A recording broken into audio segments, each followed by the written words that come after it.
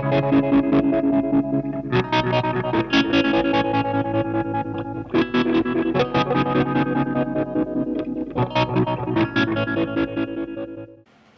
day everyone.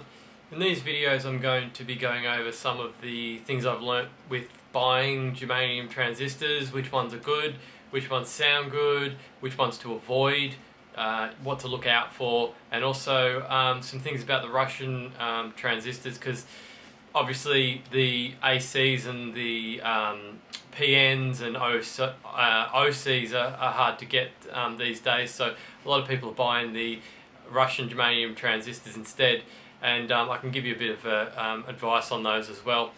Obviously, I've, I haven't tried every single germanium transistor that there is that's available. It's just what I've sort of discovered in the last sort of 12 months since I've been buying them.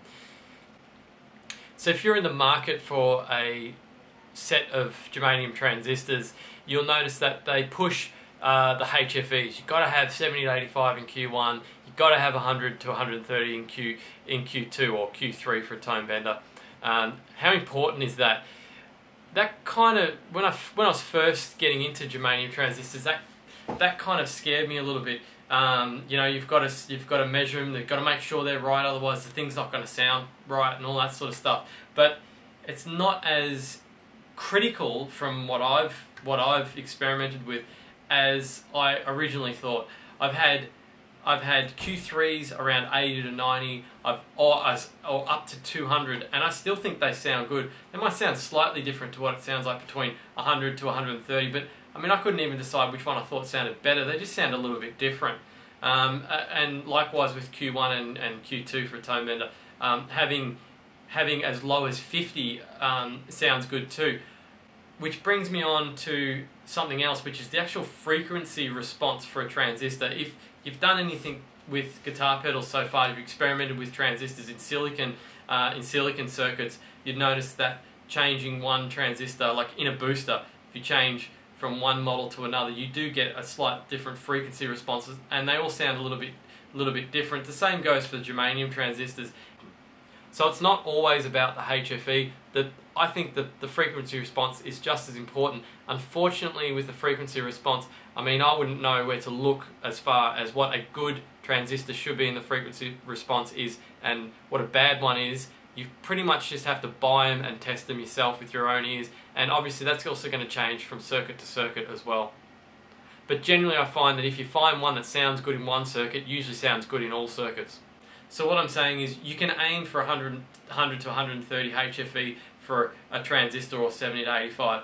But if the transistor doesn't sound good at, at all, um, you know, what's the point in using it? You might actually get better results using something um, that's lower gain or higher gain um, that actually has a good frequency response than using something that has the right HFE and doesn't sound that good. Now the other thing is the reported HFEs. You're going to see on the internet, you're going to come across germanium transistors that have the perfect HFE. You've got, you know, these transistors are 80 to 150 HFE and there's a box of 100 for 20 bucks and it's like, this seems good, too good to be true. So you might see a few threads of people um, talking about, um, you know, that I bought a box of 100 um, transistors. I measured them all, and they're all 50 to 60 HFE. Um, and it should they the the data even the data sheet says they should be between 80 and 150 HFE. You know, like what's the story with that? Sometimes it can be a shunt resistor inside the transistor that actually uh, makes the transistor look like it's lower gain than it actually is. Um, but in my case, I actually bought a box of GT308Vs, and I found that they were all between um, uh, 60 and uh, uh, sorry 50 and about 70 HFE instead of 80 to 150 uh, and I just couldn't work out why that was the case. I mean if the data sheet says it's going to be between 80 and 150 you know like why would the data sheet lie? Basically the answer was pointed out by PRR this was what I reckon is the correct answer. Um, basically if you look at this chart you can see HFE uh, um, measured against uh, collector current. And I was measuring with stomp boxes it's usually very low collector current um, for instance in, in my case um, he's just quoted me up here 437 microamps so you're looking at half a milliamp um, half a milliamp on this scale down here is like you can see zero. You're looking at 10. I mean, you're pretty much looking at where zero is on this chart. And if you go up, you can see at zero, we're kind of around the between 40 and 80, which is what I was pretty much measuring. So they've quoted 80 to 150 HFE um, from, well, you're looking at sort of maybe 5 milliamps to, um, uh, you know, 25 milliamps is probably around where 80 to 150 would be on this on this particular chart. So that can obviously lead to arguments between the seller and the, and the buyer. And I've seen some some threads where you know, like obviously the the customer's upset because they were expecting a certain HFE, but they've received something else. Um, and um, you know, there's there's reports of people skimming off the good um, the good HFEs and selling off all the crap, pretending that they're just random ones.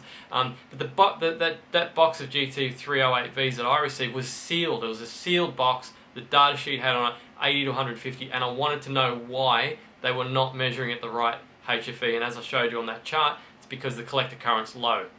But all transistors aren't obviously like that. If you can get the chart, the HFE versus collector current chart, um, it would be very beneficial because you can determine whether um, it's going to work for stomp boxes. And I probably think you'd be looking at um, the collector current. I'm pretty sure you'd probably be looking at maybe a maximum of about 1 milliamp or 2 milliamps tops um, ar around um, that sort of scale. You've got to make sure that that, that chart is, um, you know, the HFE is in the right spot at, at that collector current. So that's definitely something to look out for when you're buying them if you can get that data sheet to check. Um, and it does come up regularly. I've bought other transistors. MP21D is another one that's um, that's got probably has 80 to 150 HFE, but you're not going to see it in a guitar pedal because it's not it's not it's not um, providing enough collector current to to, um, to you know open up the HFE. So is the MP21D useless? Is it not worth getting? Well, not really, because the frequency response is actually quite good. Even if they, even though they measure between 40, 50, 55 HFE in Q1 and Q in Q1 of a, phase, a fuzz face and Q1 and Q2 of a tone bender, they actually sound pretty good. They've got a good uh, full sort of full spectrum frequency response, and I was actually using them in quite a few um, guitar pedals um, for for the you know the low gain um, transistors, and they sound actually pretty good. So how much is a good price to pay for a germanium transistor? Well, it depends on what you're buying first. I mean, if you're buying Russians, they're obviously going to be cheaper than if you're buying OC44s. You know, there's going to be a variance in price. I mean, $5 for an OC44 might actually be a good price, whereas, you know, 50 cents for a germanium transistor might actually be expensive. I like to keep track of what the actual unit cost is because it can get confusing and you can sometimes lose, you know, like um, uh, lose sight of what you're actually paying on particular transistors. You know, if you're buying two lots from one guy and the postage is this and 50 for this cost, etc., etc. So, like for instance, if I buy 100 um, transistors and they cost me $30, then it's going to cost 30 cents each. For Russians, I think 30 cents each is a pretty good price. Um, I think the most I've probably ever paid for Russians is maybe about 60 cents. It depends on the model, again, because there are some really good Russians and there's some not so good Russians. I'll go into more about the models and uh, the Russian models that I've found are good and the ones that I haven't found very good as well um, in the next video. So I think I'm going to end this video for part one and um, come back with another video or maybe two.